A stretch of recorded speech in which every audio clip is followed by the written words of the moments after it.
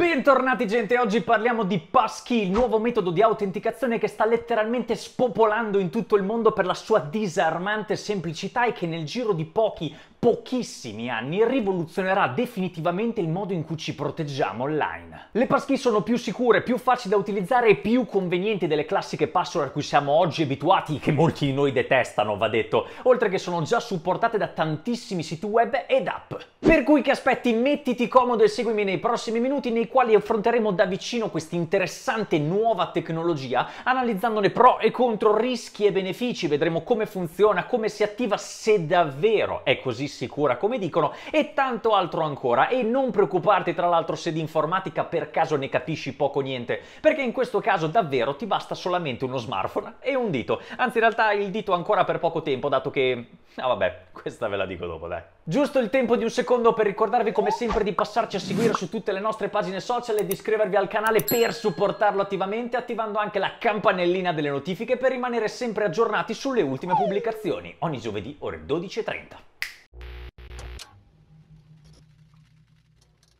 Parliamoci chiaro gente, l'attuale situazione in termini di sicurezza informatica globale è a dir poco preoccupante. Statistica alla mano parliamo di un incremento del 23% tra il 2021 e il 2022 e del 10% nei soli primi sei mesi dell'anno corrente rispetto al 2022. La quantità di attacchi informatici, in particolare di tipo phishing, ransomware e DDoS, sono davvero aumentate a livello spaventoso negli ultimi anni e la questione può solo che peggiorare con l'avvento delle intelligenze artificiali, le quali nell'arco di un paio paio di clic sono in grado di generare messaggi iperrealistici, sms o mail da poter inviare in tutte le lingue del mondo.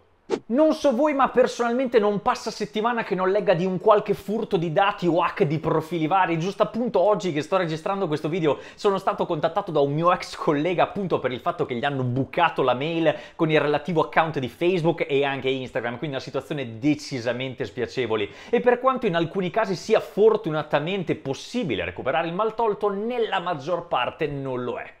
Io stesso sono stato e sono tuttora bersaglio di questo tipo di attacchi, ma ben consapevole dei rischi che si vanno a correre, utilizzo già da tempo l'immancabile autenticazione a due fattori unitamente a password mega super ultra strong da minimo 20 caratteri l'una, le quali non mi sarebbe ovviamente possibile ricordare senza il supporto del mio fido Bitwarden, il miglior gestore di password gratuito sul mercato, al quale abbiamo dedicato un video specifico sul canale e che se vi siete persi vi lascio linkato sia qui sotto in descrizione descrizione che on screen. E attenzione, sebbene per questo io possa dirmi in una botte di ferro protetto e al sicuro, in realtà non lo sono affatto e come me, neanche voi. Tutti siamo in pericolo perché la realtà, gente, spiace dirlo, è che le password, anche le più strong, stanno divenendo sempre più vulnerabili agli attacchi informatici e arriverà il giorno prestissimo, attenzione, in cui serviranno quanto un ombrello di carta sotto la pioggia. Ve lo dico chiaramente, molti, moltissimi di voi in questo momento hanno password e account compromessi in maniera irreparabile e il guaio è che non lo sanno, non lo potete sapere! Perché fin tanto che ti bucano il profilo di WeTransfer uno può dire chi se ne frega e sono pienamente d'accordo, ma nel momento che succede la stessa cosa con la mail oppure con un qualche account contenente informazioni delicate e sensibili che non sarai mai più in grado di recuperare in vita tua, allora ti ricorderai di questo video e delle parole del vecchio doc e ti darai una poderosa martellata martellata sul mignolo per non avermi ascoltato a tempo debito. Anzi, facciamo due, va là. La cruda realtà, gente, è che se non vi preoccupate voi stessi di mantenere al sicuro i vostri account, non lo farà nessun altro. E se qualcuno per questo riuscisse a danneggiarvi, sarà soltanto colpa vostra. Certo, le password sono una monumentale gigantesca rottura di ciufoli, mai detto il contrario, soprattutto perché dovrebbero essere lunghe tot, complesse tot e quindi impossibili da ricordare, pertanto ti diviene ovvio utilizzare un gestore di password che magari è complesso, ce l'hai solo sul telefono, non ricordi la chiave di sblocco, hai lasciato il dito a casa, hai lasciato lo smartphone a casa, insomma veramente un calvario. Certo, se utilizzate un gestore di password come si deve, tipo il famoso Bitwarden di cui parlavamo prima, credenziali complesse e attivati ovunque possibile, la 2FA, siete anni luce avanti alla stragrande maggioranza delle persone godete di un ottimo livello di sicurezza. Ma come sta divenendo oramai tristemente chiaro da qualche tempo a questa parte, anche l'autenticazione a due fattori non basta più per mantenerci al sicuro. Questo perché il sistema che ospita l'authenticator, tipicamente il nostro smartphone, può essere infettato, le SIM clonate e gli account mail penetrati con la forza. E non pensate mica ve che si tratta di roba di fantascienza che mai può succedere alle persone normali, anzi è tutto il contrario, con noi signori nessuno diventa nettamente più facile tutto questo. E questo perché purtroppo, esattamente come abbiamo fatto presente qualche tempo dietro sul canale con uno short dedicato, moltissime persone utilizzano la stessa identica password per tutti i siti a cui si vanno a registrare, la quale ancor più purtroppo è di una banalità sconvolgente il più delle volte. Roba tipo 1, 2, 3, 4, 5, 6 QWERTY, l'anniversario, il nome del cane della squadra del quale è roba simile. Mentite gente, so che tra di voi che mi state guardando in questo momento c'è qualcuno che lo fa abitualmente peraltro. Ecco, se così è, sappilo, spero tu possa finire in pasta ai peggiori hacker di questo mondo. Perdonate la brutalità, lo sapete, non vi voglio male, gente, ma queste cose, questo genere di comportamenti mi fa letteralmente uscire dai gangheri. Agire in questo modo, con una tale superficialità nel 2023, dove abbiamo a disposizione decine di strumenti per lo più gratuiti e di facilissima comprensione, con un minimo di impegno oppure di ricerca, perché venite che ve lo dico in un orecchio. Vieni, vieni, avvicinati. I canali come IT Support di YouTube, ma anche blog, forum e siti web, esistono giusto appunto per questa ragione, per insegnare alla massa, che non si intende di questa materia dell'ambito informatico, come si fa a destreggiarsi in questo mondo. Pertanto, cercateli, esistiamo per quello. È letteralmente come tirarsi la zappa sui piedi, furbo quanto giocare a mosca cieca in autostrada. Pertanto se ci tieni a non finire spatasciato su di un parabrezza in stile B-movie dovresti prendere in seria considerazione l'attivazione del passkey, la cui forza risiede proprio nella semplicità di utilizzo, dato che sostituiscono interamente, attenzione, interamente le password e le annesse autenticazioni a due fattori utilizzando un accesso legato a un dispositivo, un token, preferibilmente biometrico. What? La vostra password come è ora, detta alfanumerica e quindi composta da lettere, numeri e simboli, verrà sostituita da un dispositivo hardware, tipicamente uno smartphone, il quale riuscirà a riconoscervi mediante un'informazione biometrica e quindi appunto la scansione dell'impronta digitale oppure del volto. Quando attiviamo una passkey per un account, il servizio crea una cosiddetta chiave crittografica pubblica super sicura ed inaccessibile all'esterno, basata proprio sul dispositivo che abbiamo scelto di utilizzare. Badate bene però attenzione in questo caso che non tutti i dispositivi possono essere utilizzati per questo scopo, ma solamente alcuni e appunto come nel caso che abbiamo fatto il nostro smartphone oppure alcuni modelli più recenti di computer portatile, computer desktop o ancora quei token portatili simili a chiavette USB che un tempo si utilizzavano per la banca online. E tolta qualche differenza di secondaria importanza, la procedura per l'attivazione di una passkey non cambia a seconda del servizio. In altre parole si fa sempre nello stesso modo ad eccezione di un punto, il quale dipende specificatamente dal dispositivo che avete scelto di utilizzare. Ma vi faccio un esempio pratico di come si abilita una passkey in questo caso per il nostro account Google. Connettiamoci al nostro account, quindi sezione sicurezza sulla sinistra e in mezzo alla pagina fra i metodi di autenticazione troveremo la voce passkey. Clicchiamoci sopra e nella finestra seguente selezioniamo banalmente crea una passkey.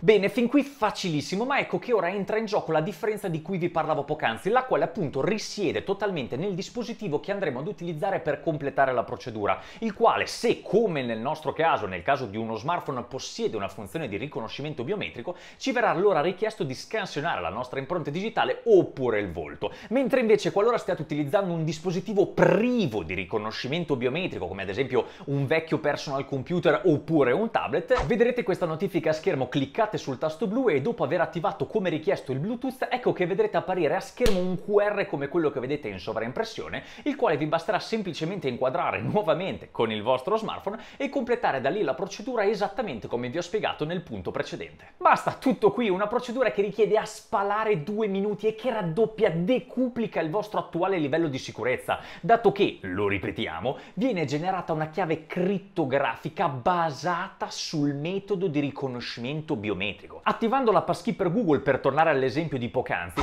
il servizio ha registrato il mio smartphone e la mia impronta digitale associandole all'account stesso di modo che la password necessaria per accedere divenga il mio personale dispositivo che scansiona la mia personale impronta digitale o volto.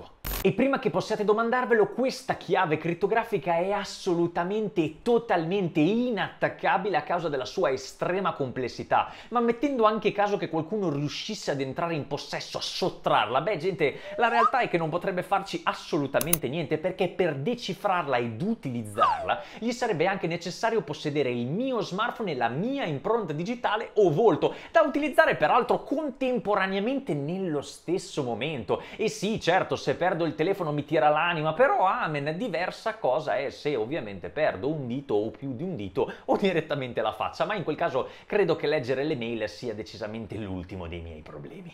Questo per farvi capire la logica dietro il fatto che se anche una password è iper mega strong con 100.000 caratteri, un banale attacco di phishing o un furto dello smartphone potrebbe far sì che il malintenzionato ne entri in possesso, ma ciò non può accadere per le passkey, perché mettiamo anche caso che riescano a rubarmi lo smartphone, senza il mio dito non potrebbero fare niente, o il mio volto nel caso, pertanto dovrebbero anche rapirmi e costringermi a farlo, e dato che io non sono James Bond, diciamo che è abbastanza improbabile tutto questo, ecco. Oltre poi all'estremo livello di sicurezza c'è anche la praticità e la comodità, l'assoluta comodità di non doversi più mai più ricordare le password. Questo perché un domani che avremo necessità di accedere ad un nostro account sul quale è attiva la passkey, banalmente cosa succederà? Andremo al nostro computer, accederemo al sito, ci verrà richiesto di autenticarci e noi banalmente schiafferemo il dito sullo smartphone oppure scansioneremo il volto e in meno di mezzo secondo saremo dentro. Un'assoluta figata oltre che incredibilmente incredibilmente comoda, people, c'è poco da dire. Domanda che non nego mi sono posto anch'io al momento di dover abilitare la mia prima passkey, ma della quale non c'è assolutamente nulla di cui preoccuparsi. Analogamente alla questione Authenticator, anche in questo caso sono stati previsti innumerevoli sistemi di backup e di sicurezza che ci aiutano a rientrare in possesso del nostro account anche nel caso che ci dovessero rubare lo smartphone o dovessimo perderlo. Per cui gente, non preoccupatevi e non fatevi prendere dall'ansia. Sistemi come questi vengono studiati da persone che ne sanno veramente dei chilometri e che appunto prevedono prevedono di default dei sistemi di sicurezza necessari a far sì che le persone comuni possano vivere in santa pace. L'unico caso in cui avreste degli enormi problemi sarebbe perdendo il dito oppure il volto, ma appunto credo che in questo caso accedere al vostro account Google sia in fondo alla lista delle priorità. I servizi compatibili con l'autenticazione di tipo passkey sono già oggi innumerevoli e aumenteranno vertiginosamente nei prossimi tempi, dato che, come dicevo, le persone, gli utenti che decidono di attivarle sono ogni giorno sempre di più. Ad ogni modo, se volete tenere sotto controllo attivamente la questione, vi consiglio di fare un salto su passkeys.directory di OnePassword, il quale si aggiorna appunto di pari passo man mano che nuovi servizi adottano il sistema passkey. E per finire la notizia che vi avevo droppato a inizio video, pare che un team di scienziati americani stia sviluppando un nuovo metodo di passkey di autenticazione basato sulle onde cerebrali. Sì, avete capito bene. Questo campo di studio è noto come Brain Computer Interface e si basa sull'utilizzo di un elettroencefalogramma per misurare l'attività cerebrale dell'utente, la quale viene poi convertita ed utilizzata per creare una chiave d'accesso necessaria ad accedere a determinati sistemi o servizi. Il vantaggio di questo metodo è che le onde cerebrali sono difficilmente hackerabili in quanto univoche per ogni individuo, oltre che per utilizzarlo sarà sufficiente all'utente inserirsi un particolare tipologia di EEG portatile tipo il classico auricolare Bluetooth che andava molto una volta e pensare semplicemente alla password che ha bisogno di generare per accedere a quel determinato servizio. Sia chiaro, tutto questo è ancora oggi in fase di sviluppo, ma se dovesse avere esito positivo cambierà per sempre il metodo in cui ci autentichiamo online e potrebbe davvero aprire porte che finora abbiamo solamente sognato. E titoli di coda, io vi ringrazio come sempre per avermi seguito fino a questo punto, ascoltandomi spero vivamente con interesse, ma ditemi che cosa ne pensate di queste. Era eravate già a conoscenza di questa tecnologia? L'avete già utilizzata? E se sì, su quali servizi? Fatemelo sapere qui sotto nei commenti, sono sempre curioso di sapere la vostra opinione e mi raccomando, se il video vi è piaciuto ricordatevi di spolliciarlo prima di andare via. Io sono Doc, questo è T-Support e noi ci vediamo giovedì prossimo alle 12.30 con un nuovo episodio. Mi raccomando gente, non cambiate canale.